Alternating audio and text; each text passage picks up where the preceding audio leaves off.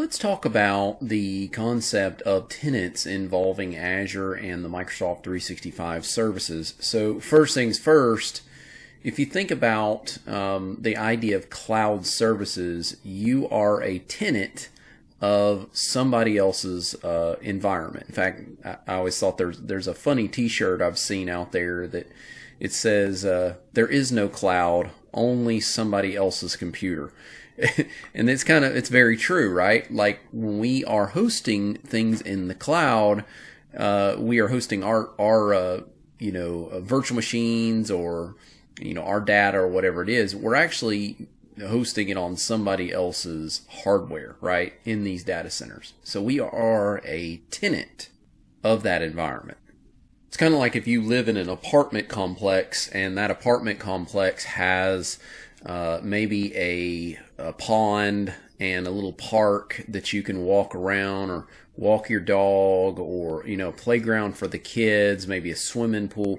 Those are amenities that that apartment is uh, allowing its tenants to have access to right? If you are a tenant at that apartment complex you get you get access to the amenities so this is the idea with the cloud services is you know, as you are you are a tenant of these cloud services, you are allowed to have access to certain amenities that are available to you. Course, with Microsoft 365, there are certain things that are included. With Azure AD, there are certain things that are included. It all ties together. So I want to talk a little bit about that. Now, hopefully, you you if you are wanting to do hands-on, you went through and you created a uh, a, a subscription in uh, my videos about setting up for hands-on, and so you uh, you know how to create a a uh, subscription to Microsoft 365 and Azure AD. Okay, again, you can't really have Microsoft 365 without having Azure AD. It's just part of the deal. Azure AD is actually free. There's a free version of it, but you uh, you can activate different uh, licenses for it. And the more licenses you have, the, the more capabilities and features you have. Though I'm not going to get deep into that right now.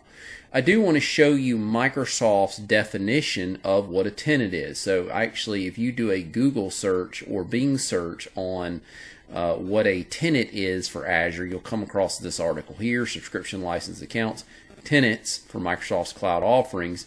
And if we scroll down a little bit, Microsoft tells you that an Azure AD tenant is a specific instance of Azure AD containing accounts and groups, paid or trial subscriptions of Microsoft 365 or Dynamic 3, Dynamics 365 include a free Azure AD tenant as well.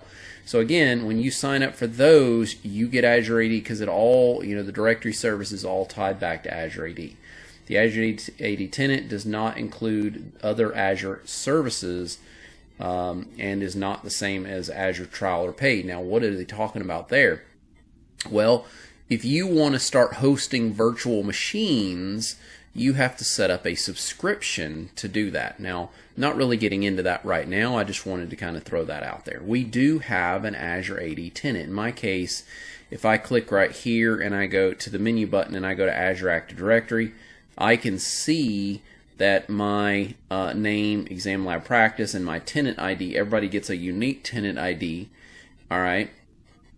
And um, that is my tenant. Now, here's what's interesting about this back in the on-premise world with domains, the way we've had things for years is you could have multiple domains, and one of the reasons for having multiple domains is to uh, subdivide your uh, environment up by country. Some sometimes we'd have multiple domains because uh, we had um, maybe our company uh, was owned by another company, or we owned another company, or you know we're part of a, a bigger organization.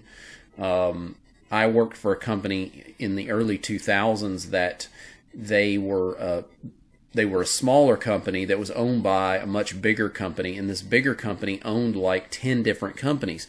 So you can imagine, you know, a situation like that where you are part of a bigger organization, but you have multiple companies and they each need their own services to manage. Well, this is perfect for uh, Azure tenants because we could have different tenants for the different companies uh, uh, of our organization. So we can actually go right here to manage tenants. And you can see I only have one tenant right now. That's this exam lab practice one. But I can click to create a tenant. And then from there, I can choose, am I creating a, a tenant, Azure AD tenant for myself? Is this going to be a B2C, which is a business to customer? If you click on learn more right here too, they'll break it down for you a little bit. Um, in fact, they talk about a little bit about the uh, Azure AD licenses.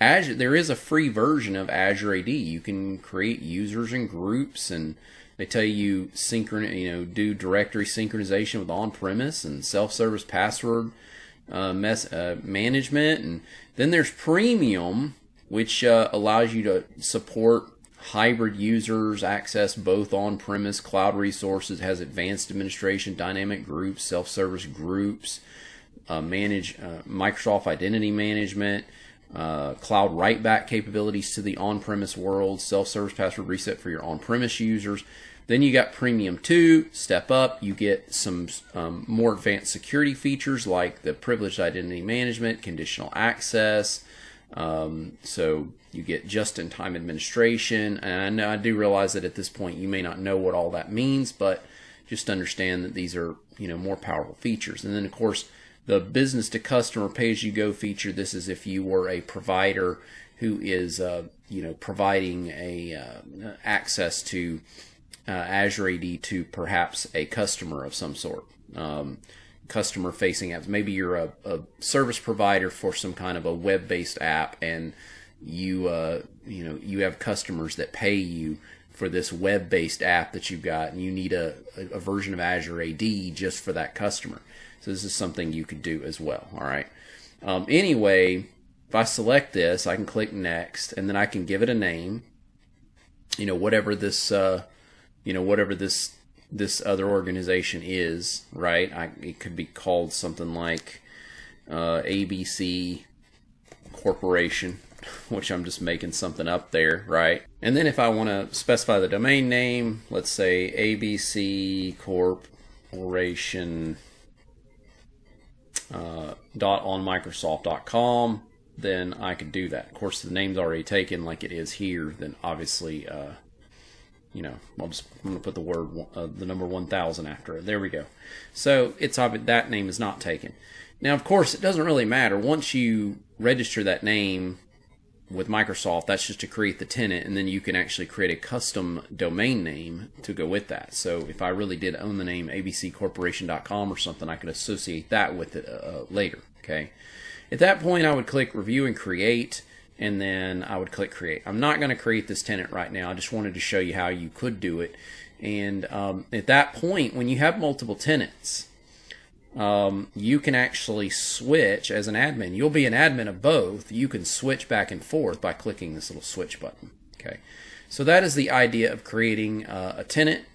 And of course, here's the thing: if you do that, though, you're going to have separate subscriptions for your Microsoft 365 side of things. So you'll have to have separate subscriptions for all that. So really, the thing you want to remember here is creating multiple tenants isn't really um, a common scenario for most organizations. It is for some, especially if they they have multiple companies that they own.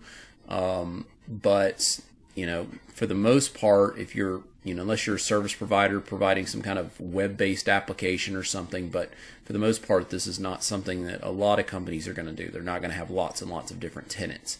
So, but uh, it is important to at least understand the idea of a tenant and the fact that you can create multiple tenants in in use utilization with Azure AD and Microsoft 365. Hey, this is John Christopher. I hope you enjoyed that video, and I want you to know that I'm trying really hard to grow this channel, so I hope you'll give me a like and a subscribe. Also, if you'll check the description in this video, I've got a link for you that can show you how you can get access to all my different courses. I have lots of different Microsoft certification courses that'll help you pass your exam. All right, thanks a lot for watching the video, and I hope to see you again.